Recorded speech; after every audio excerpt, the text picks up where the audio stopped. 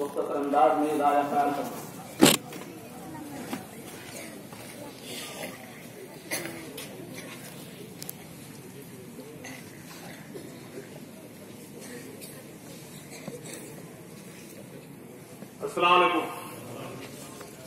जो बातें दिलों से निकलती है, जो बातें दिलों से निकलती है, वो दिलों पे असर करती है। सबसे पहले हम इंसान है, बाद में हिंदू या मुसलमान है। किसी से कोई शिकवा न सिला किसी से कोई शिकवा न सिला फिर भी ये शिकायत करता हूँ, रहे आप और हम सब सलामत। बस यही दुआ करता हूँ, बस यही दुआ करता हूँ। मान और सम्मान के योग, स्टेज पर तशरीफ़ फरमा। मेहमान खसूसी, मुफ्ती साहब, मौलाना साहब, कारी साहब, हाफिज साहब और यहाँ पर मौजूद सभी मेरे पिता समान बुज़ुर्गों, नौजवान साथियों और मेरे सामने बैठे प्यारे प्यारे नन्हे नन्हे बच्चों, आप सबको 26 जनवरी गणतंत्र दिवस की बहुत बहुत मुबारकबाद। तो थोड़ा इससे पहले मेरा प्रोग्राम नाहरपुर था, थोड़ा लेट हो गया गुस्सा की माफ़ी चाहूँगा और आपको बच्चों ने बहुत अच्छी तरीके से और बहुत खुशी हो रही है हमारे को कि वह ऐसा अच्छा प्रोग्राम मौलाना साहब ने किया और आप सब गाँव वासियों ने इसमें सहयोग किया। मैं आपको धन्यवाद करना चाहूँगा। तो मैं जैसे कि अभी बच्चे कह रहे थे, उसी कड़ी को आगे जोड़ता हुआ आपको ये बताता हूँ कि तिरंगा झंडा जो 15 अगस्त को 26 जनवरी को फहराया जाता है। इस झंडे के तीन रंग हैं। सबसे पहले ये नीचे हरा रंग है इसमें। हरा रंग हरियाली और खुशहाली का रंग है। हमारा देश खुशहाल हो, आप सब खुशहाल हो। उससे ऊपर ये व्हाइट रंग है, सफ़ेद रंग। सफ़ेद रंग इसमें अमन शांति का प्रतीक है। हम सब अमन शांति से रहे, भाईचारे से रहे। देश में अमन अगर काम रहेगा तो तरक्की खुद ब खुद आ जाएगी। तीसरा रंग इसमें है, ये ना, नारंग कलर का ऑरेंज कलर का रंग जो है नारंगी कलर इसमें ये त्याग और बलिदान का है। जब जब हमारे देश पर मुसीबत आई जब जब हमारे देश पर ऐसी विपदा आई तो तारीख गवाह है। तारीख गवाह है कि क्योंकि आज ये मदरसे में प्रोग्राम हो रहा है। यहाँ पर भारी संख्या में मौजूद मेरी कम्युनिटी के लोग यहाँ पर बैठे हैं। तो मैं आपको बताना चाहूँगा कि तारीख गवाह है। जब जब इस देश को खून की ज़रूरत पड़ी तो हमारे मुसलमान भाइयों ने कोई पीछे कदम नहीं बढ़ाया अपने खून देने से गुरेज नहीं किया।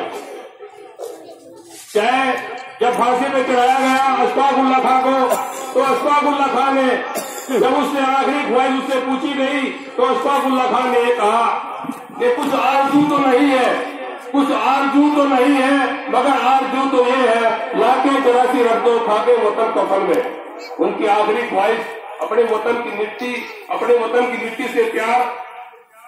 इसी तरह उन्नीस सौ पैंसठ की जंग हुई उन्नीस की जंग में हमारे दुश्मन देश की फौज चीरती हुई, हमारे सैनिकों को मारती हुई हिंदुस्तान में प्रवेश कर चुकी थी। लेकिन एक जाबाज सिपाही उसने अपनी छाती पे बम करके दुश्मन की फौज को नेस्तनाबूद कर दिया वो मैं बताना चाहूँगा। वो इसी मदरसे से, इन्हीं मदरसे से पढ़ के निकला हुआ वीर अब्दुल हमीद था। इसी तरह से चाहे हमारे देश की टेक्नोलॉजी की बात हो, हमारे एपीजे अब्दुल कलाम साहब इन्हीं मदरसों से फारिग होकर के उन्होंने देश को परमाणु शक्ति की मिजाइल युक्त हिंदुस्तान को बनाया। तो ये 26 जनवरी का प्रोग्राम आप सब लोग, यानी आज मदरसों में पूरे देश में पहले से ही मनाता मनाया जाता रहा है। लेकिन आज कुछ फांसी ताकते हमारे देश को तोड़ना चाहती है। देश को खोखला करना चाहती है। कैसे हमारे भाईचारे को खत्म करना चाहती है। लेकिन हम सब ऐसे प्रोग्राम कर करके अपने भाईचारे को मज़बूत करना चाहते हैं। हिंदू मुस्लिम एकता को बढ़ावा देना चाहते हैं। क्योंकि जब देश आज़ाद हुआ तो सबका एक ही नारा था कि देश को आज़ाद कराया जाए। चाहे उसमें हिंदू भाई हो, चाहे उसमें शहीद भगत सिंह हो, चाहे उसमें चंद्रशेखर हो, और चाहे अशफाकुल्ला खां हो यानी कि देश को आज़ाद कराने के लिए बहुत सी माओ ने अपने लालों को कुर्बान कर दिया। बहुत सी हमारी बहन बेटियाँ विधवा हो गई, बहुत से बच्चे यतीम हो गए। लेकिन सबका यही नारा था कि अंग्रेज़ों भारत छोड़ो और देश को आज़ाद कराया मिलते हैं मिलते हैं जमाने भर में आशी कहीं, मिलते हैं जमाने भर में आशी कहीं, मगर वतन से खूबसूरत कोई सनम नहीं होता। मिलते हैं जमाने भर में आशी कहीं, मगर वतन से खूबसूरत कोई सनम नहीं होता। नोटों में लिपट कर नोटों में लिपट कर सोने में सिमट कर मरे हैं कई मगर तिरंगे से खूबसूरत कोई कफन नहीं होता। आज का प्रोग्राम ये मासूम बच्चे, ये कल का मुस्तबिल है।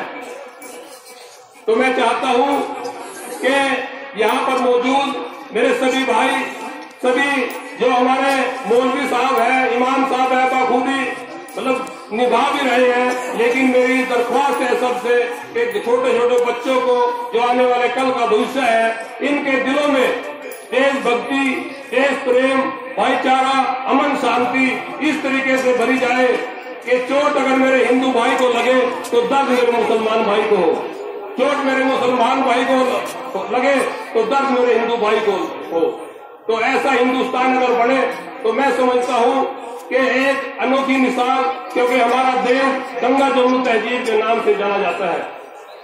आज वर्ल्ड में सबसे बड़ा लोकतंत्र ये हिंदुस्तान यहाँ पे तरह तरह जाति के लोग तरह तरह धर्म के लोग अपने अपने तरीके से पूजा पाठ करते हैं। और सब अमन और शांति से रहते हैं। मेरी नींद को तकलीफ़ मेरी नींद को तकलीफ़ न मंदिर की घंटी से है। मेरी नींद को तकलीफ़ से मेरी नींद को तकलीफ़, सीमा पर मरते जवान और खेत में मरते किसान से। तो मैं अपनी बात को खत्म करता हूँ और आप सबको फिर दोबारा फिर 26 जनवरी की बहुत बहुत मुबारकबाद देता हूँ। जय हिंद। माता